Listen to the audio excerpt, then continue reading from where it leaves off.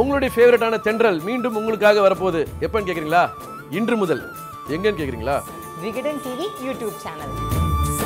தவறாம தென்றலை பார்த்து ரசிங்க. ஏங்க ஏங்க இப்படி அநியாயமா போய் சொல்றீங்க? இன்னைக்கு தானே நான் உங்களை பார்த்தேன். உங்க பையனுக்கு ஆக்சிடென்ட் ஆயிடுச்சு. ஹாஸ்பிடலுக்கு போனோன்னு நீங்க தானே வண்டியில ஏறினீங்க. உதவி செஞ்சதுக்கு தண்டனையா இது? ஏம்மா உனக்கு பார்ட்டி பிடிச்சி கொடுத்ததுக்கு தண்டனையாம்மா எனக்கு இது. இதை பாருங்கம்மா வாழ்க்கையில நான் எதையும் ஒளிச்சு மறைச்சே பேச மாட்டேன். இது மாசத்துல அஞ்சாறு முறை என்கிட்ட வரும். நான் தான் பார்ட்டி பிடிச்சி கொடுப்பேன். இப்பவும் வந்துச்சு நான் தான் பார்ட்டி பிடிச்சி கொடுத்தேன். உங்களுக்கு நம்பிக்கை இல்லைன்னா அந்த அம்மா பர்ஸில் பாருங்க. பார்ட்டி கொடுத்த ரெண்டாயிரம் ரூபாய் பணம் இருக்குது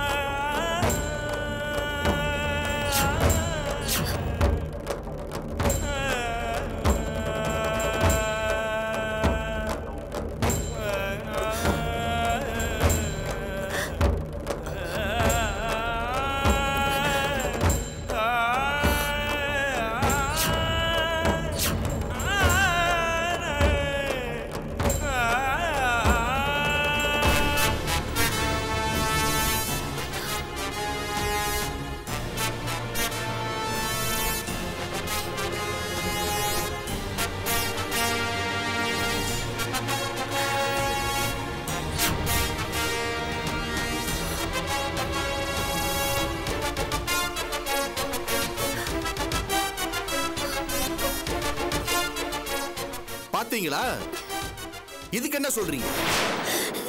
இல்லம்மா இந்த பணம் எப்படி வந்ததுன்னே எனக்கு தெரியாது. சத்தியமா தெரியாதும்மா. அம்மா என்ன நம்புமா நீ சொல்ற பொய்ய பெத்தவங்கிறதுக்காக உங்க அப்பா அம்மா வேணா நம்பலாம். ஆனா நாங்க நம்பி ஏமாற தயாரா. டேய் பாஸ்கர் இதுக்கு மேல இங்க என்னடா பேச்சு? வா போலாம்.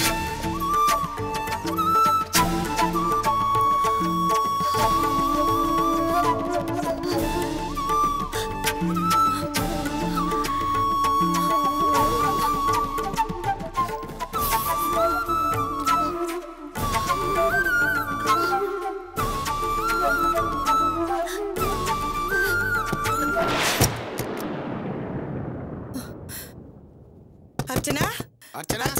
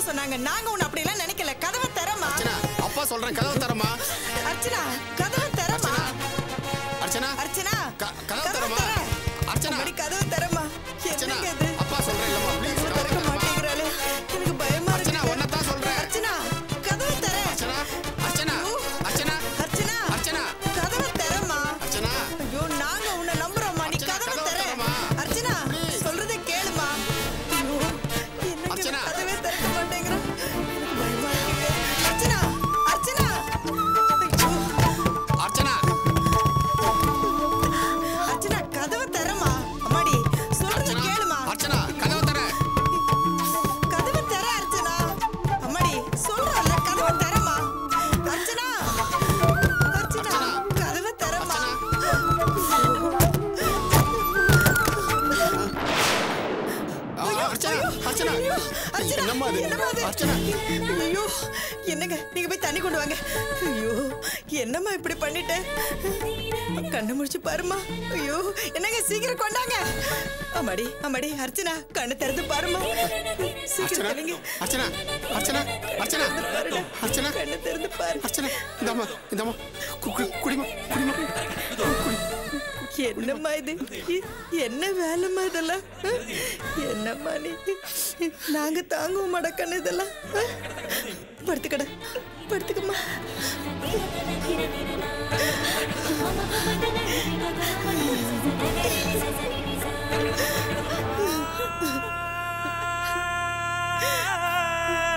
Ah!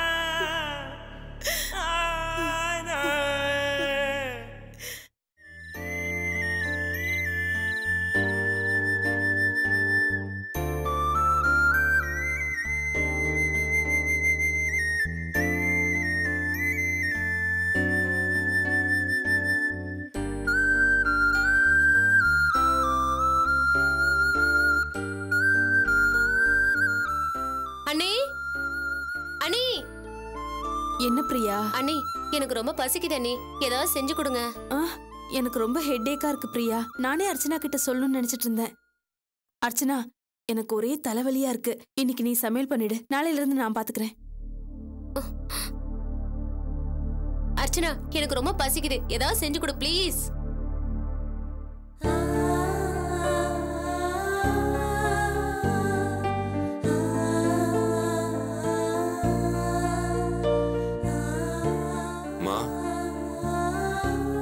எல்லாம் சைலண்டா உட்காந்துருக்கீங்க அர்ச்சனா காஃபி போட்டு கொண்டு வாமா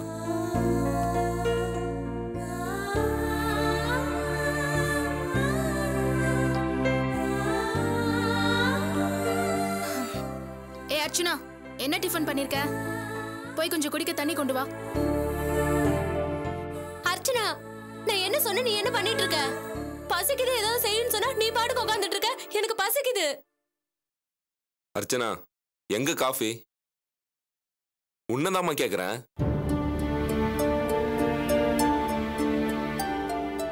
ஏன்பா எல்லாரும் இவ்வளவு வேலைக்காரி மாதிரியே பாக்குறீங்க? இத்தனை நாளா பம்பரம் மாதிரி இங்கேயும் அங்கேயும் சுழண்டுகிட்டு இருந்தாளே. இன்னைக்கு அமைதியா உக்காந்துருக்காளே. என்ன ஏதுன்னு யாராவது நீங்க யாராவது ஒரு வார்த்தை அவளை கேட்டீங்களா? ஏமா என்னாச்சு?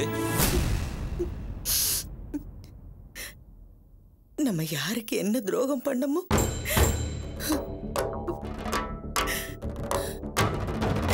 நம்ம குடும்பத்தை கெடுக்கணும்னு யாரோ கங்கணம் கட்டிக்கிட்டு இருக்காங்க. அம்மா என்ன நடந்தது? நான் என்னன்னு சொல்ல. யாரோ பொருளையை கிளப்பி விட்டுருக்காங்க. அது இந்த மாப்பிள்ளை வீட்டுக்காரங்களை நம்பி கொஞ்சம் கூட ஈவு இறக்க இல்லாம நாக்குல நரம்பு இல்லாம வாய்க்கு வந்தபடி எல்லாம் கண்டபடி பேசிட்டு போயிட்டாங்கப்பா. என்னம்மா சொன்னாங்க? மாப்பிள்ளையோட அப்பா வந்திருந்தாரு. இந்த கல்யாணத்துல என் பிள்ளைக்கு இஷ்டம் இல்ல வேண்டாம் இந்த சம்பந்தமேன்னு சொன்னாரு. நானும் இவரும் காரணத்தை சொல்லுங்கன்னு கேட்டோம். அதுக்கு அவங்க நம்ம அர்ச்சனாவை நானே நேர்ல பார்த்து எடுத்தது. நான் தான் பார்ட்டி பிடிச்சி கொடுப்பேன். இப்பவும் வந்துச்சு நான் தான் பார்ட்டி பிடிச்சி கொடுத்தேன். உங்க பொண்ணு வேசி தொழில் செஞ்சு பணம் சம்பாரிச்சிட்டு வரான்னு சொல்றேன்.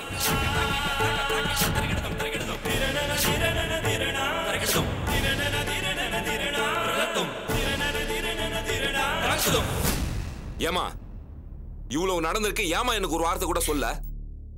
எல்லாம் நடந்து முடிஞ்சதுக்கு அப்புறம் சொல்லி என்னப்பா பிரயோஜனம்? ஏமா இவ்வளவு கேவலமா பேசியிருக்காங்க? நீ கேட்டு சும்மா இருந்தியா? அவங்க வீட்டு பொண்ணை யாராவது இப்படி பேசியிருந்தா அவங்க சும்மா இருந்திருப்பாங்களா? டேய் அவங்கள சொல்லி எந்த குத்தமும் இல்லடா. எனக்கு என்னமோ இதை யாரோ தூண்டி விட்டு தான் அவங்க அப்படி செய்றாங்கன்னு நினைக்கிறேன். என்னப்பா பேசுறீங்க நீங்க? ஆ? யாருப்பா அந்த புரோக்கர் ராஸ்கல்? அவனை இதே இடத்துல புடிச்சு நாலு அரை விட்டு இருந்தீன்னு வைங்க. எவன் தூண்டி விட்டான்ற உண்மை தெரிஞ்சிருக்கும். இங்க பாருமா யாரும் தெரியும் தானே உனக்கு? ஆ? பாருமா கேக்குறேன்ல. எந்திரி போலீஸ்ல ஒரு கம்ப்ளைண்ட் கொடுத்து அவன் முட்டிய பேத்தோன்னு வையே. எவன் பண்ணான்ற உண்மை தெரிஞ்சிடும். எந்திரி. இது இப்படியே விடக்கூடாதுமா ஏற்கனவே மாப்பிள்ள வீட்டுக்காரங்கிட்ட நம்மளை பத்தி தப்பா சொல்லி மேரேஜ் நிறுத்த பார்த்தாங்க. இப்போ இவளை திட்டம் போட்டு அங்க வரவழைச்சு போட்டோ எடுத்து நம்ப வச்சுட்டாங்க. இதை இப்படியே விடக்கூடாதுப்பா. இதுக்கு ஒரு முடிவு தெரிஞ்சே ஆகணும். உண்மையிலே இதெல்லாம் யார் செஞ்சாங்கன்னு தெரிஞ்சா அவங்க எப்பேற்பட்டவங்களா இருந்தாலும் சரி. நான் அவங்கள சும்மா விட மாட்டேன். எந்திரிம்மா. எந்திரிச்சு போய் யார் என்னன்னு சொல்லு. அந்த துரோகியை கண்டுபிடிக்கலாம். போமா போடா கண்ணு. போ. அர்ச்சனா எந்திரிமா நீ. என்னங்க? என்னங்க நீங்க? இது ஒரு பொண்ணோட வாழ்க்கை பிரச்சனை. போலீஸ்க்கு போறது எனக்கு இன்னும் சரியா படல. ஏன்?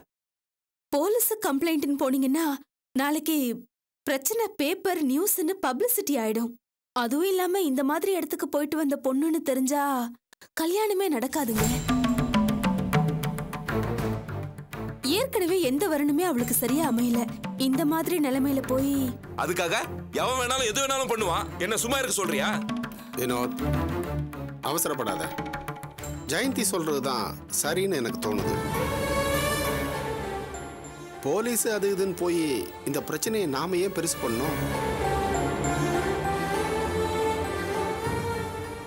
ஒருவேளை ஏற்கனவே பார்த்த மாப்பிள்ளைங்கள யாராச்சும் இந்த மாதிரி செஞ்சிருக்கலாமாமா நாம கொஞ்சம் ட்ரை பண்ணோம்னா கண்டுபிடிச்சிடலாங்க. ஆனா தேவையில்லாம ரிஸ்க் எடுத்து நம்ம அர்ச்சனா வாழ்க்கையை நாமளே எங்க கெடுக்கணும்?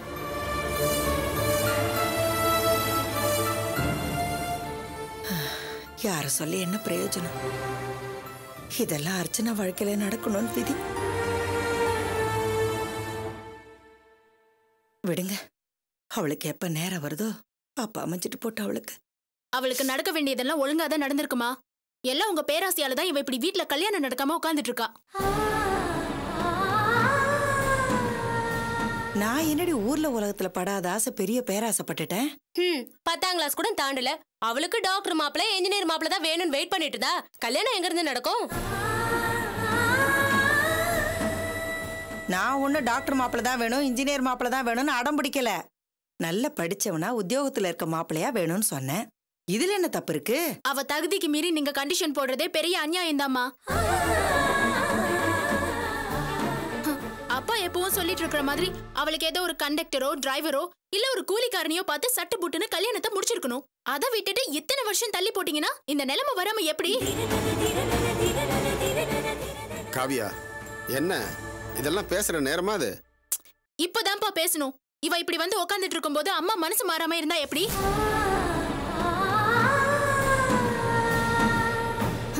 வர மாப்பிள்ளையெல்லாம் விரட்டி அனுப்பிச்சிட்டு இருந்தா இப்படிதான் கலாட்டா பண்ணி பிரச்சனை பண்ணிட்டு இருப்பாங்க.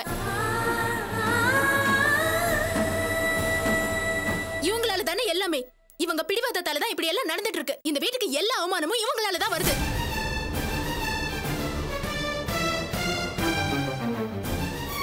அர்ச்சனாவை பத்தி பரவலா பேச்சு வந்துட்டு இருக்கே. இதே மாதிரி தானே நாளைக்கு எங்களையும் எல்லாரும் நினைப்பாங்க?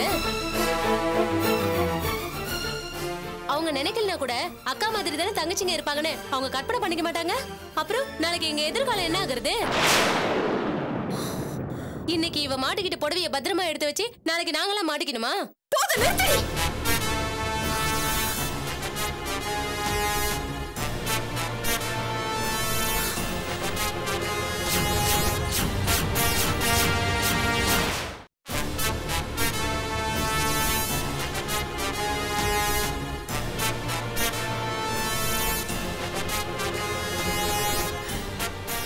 என்னடி?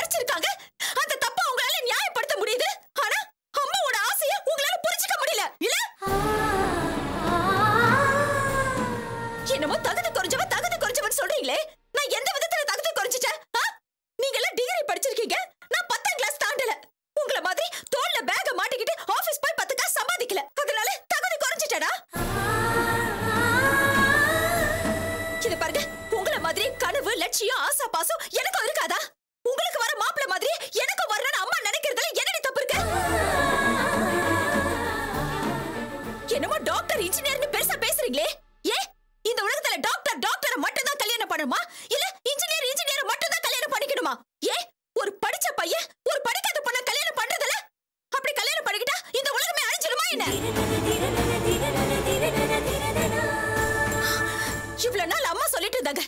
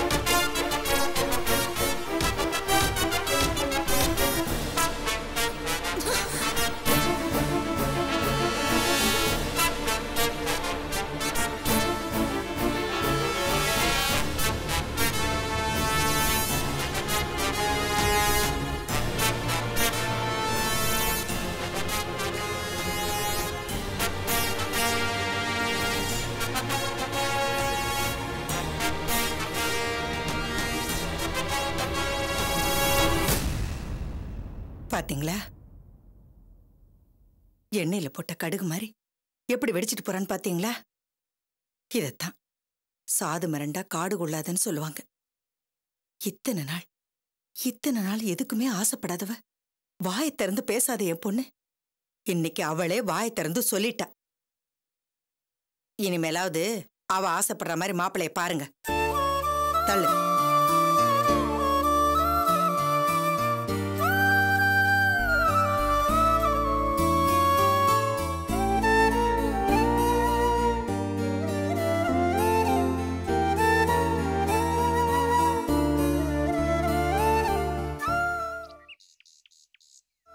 ஸ்கூலுக்கு டைம் ஆகுது பாட்டி. பாட்டி ஊட்டி விடு பாட்டி. பாட்டி ஊட்டி விடு பாட்டி. ஸ்கூலுக்கு டைம் ஆச்சு பாட்டி பாட்டி. என்ன பாட்டி பேசாம இருக்க. ஸ்கூலுக்கு டைம் ஆச்சு பாட்டி. ஊட்டி விடு சீக்கிரமா. எனக்கு டைம் ஆகுது. ரம்யா வேற ஸ்கூல்ல விட்டு போகணும் மா ஆச்சு ஒன்றும் இல்லைப்பா. ஏம்மா நடந்ததே நினைச்சிட்டு இருக்க சரி ஊட்டி விடு.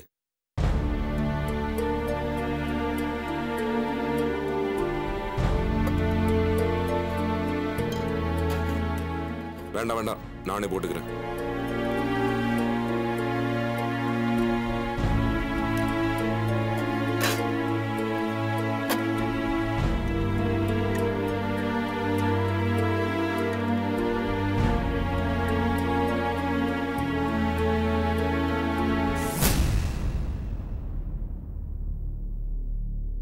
ஏமா உப்பும் இல்ல காரமும் இல்ல யாரும்மா சமைச்சது? மா! அர்ச்சனை தான்ப்பா.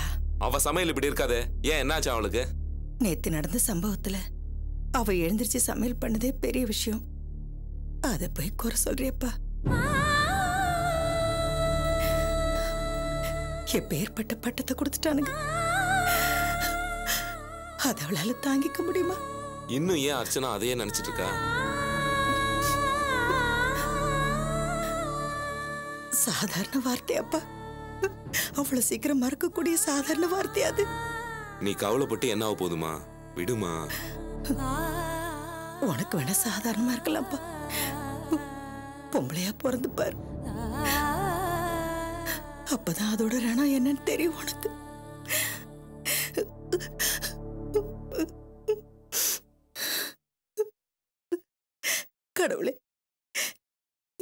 எப்பேற்பட்ட பொண்ணு என் பொண்ணு.